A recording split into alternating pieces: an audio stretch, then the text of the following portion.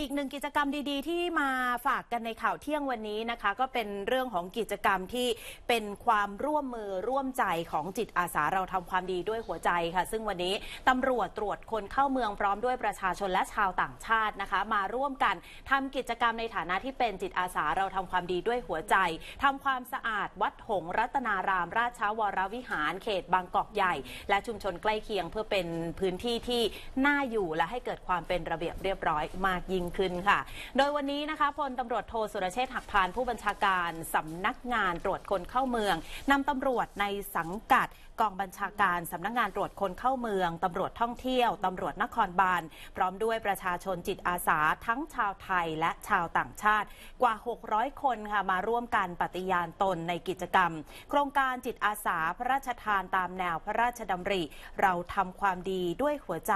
ที่วัดหงรัตนารามราชวรวิหารซึ่งกองบัญชาการสำนักงานตำรวจตรวจคนเข้าเมืองจัดขึ้น เพื่อให้บุคลากรในหน่วยงานในสังกัดได้ร่วมกันทำความดี แสดงออกถึงความจงรักภักดี และน้อมรำลึกถึงพระมหากรุณาธิคุณของสมเด็จพระเจ้าอยู่หัว จากนั้นค่ะผู้ร่วมกิจกรรมทั้งหมดได้ร่วมกันเข้าฟังธรรมเทศนาจากพระเทพปริยัติมุนี เจ้าอาวาสวัดหงรัตนารามราชวรวิหาร เพื่อความเป็นสิริมงคล ก่อนที่ทั้งหมดจะร่วมมือร่วมใจกันทำความสะอาดกวาดลานและบริเวณโดยรอบวัด รวมถึงไปทำความสะอาดชุมชน โรงเรียนถนนคูคลองที่อยู่ใกล้เคียงด้วยนะคะ ให้พื้นที่แห่งนี้เป็นพื้นที่ที่น่าอยู่สะอาดเป็นระเบียบเรียบร้อย รวมทั้งทำอาหารมาแจกจ่ายให้กับประชาชนในพื้นที่ใกล้เคียงได้รับประทานร่วมกันด้วยค่ะ